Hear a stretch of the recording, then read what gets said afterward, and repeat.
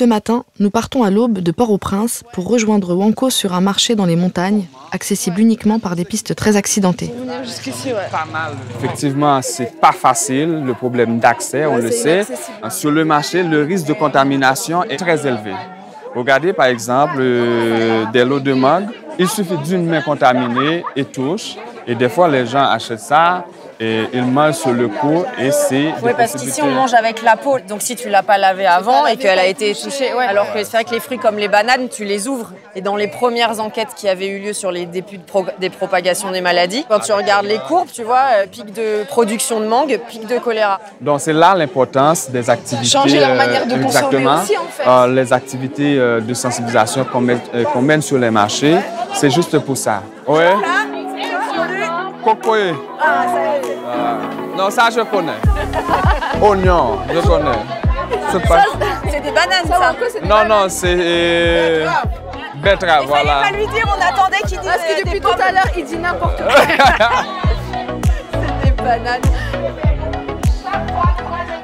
Là, la dame, elle vend du savon. Voilà, il vend du savon. Ces savons-là, on peut les utiliser aussi pour se laver les mains, etc. Maman, comment on vend le savon? Ça se, se vend à 25 gouttes. Pour avoir une idée, justement, euh, on parlait tout à l'heure du salaire minimum. Ouais, le salaire minimum, c'est à 300 gouttes. Donc, à chaque fois, tu as besoin de 25 gouttes pour acheter un bain de savon. Merci. D'accord.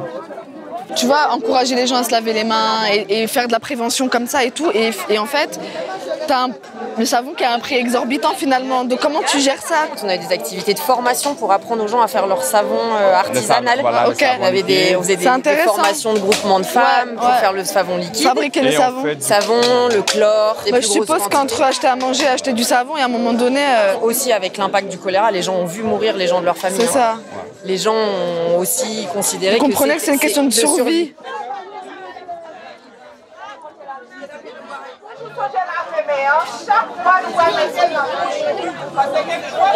Ça va, Joanne Tu vas bien?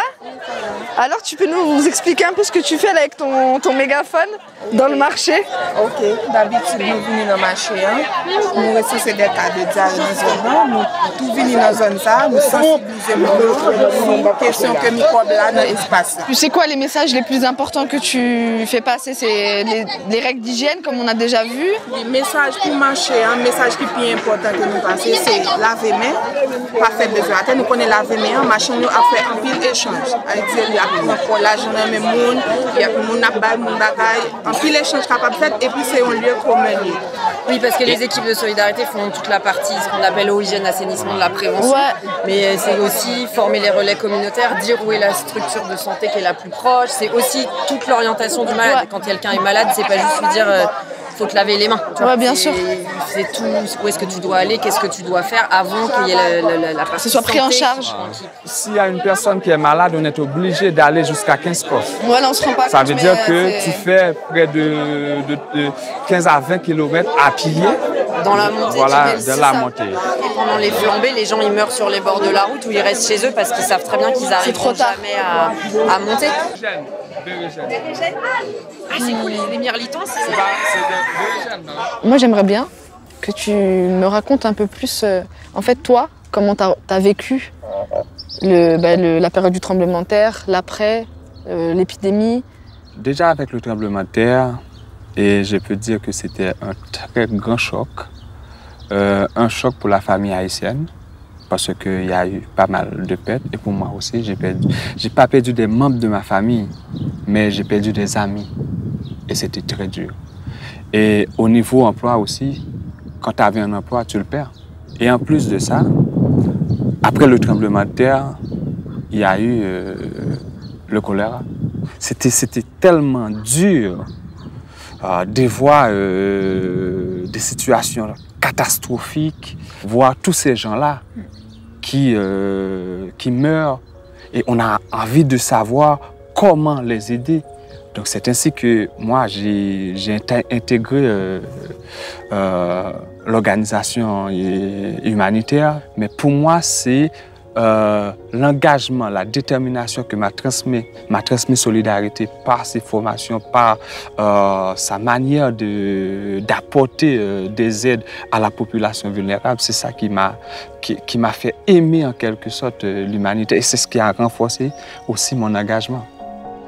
Et je me pose une question, tu vois, c'est parce que là maintenant on a pratiquement 9 ans de, de recul. Est-ce que Comment ça se passe aujourd'hui euh, bah, chez les Haïtiens en fait euh, par rapport au choléra, mais par rapport aussi au tremblement de terre Est-ce que c'est quelque chose dont les gens parlent?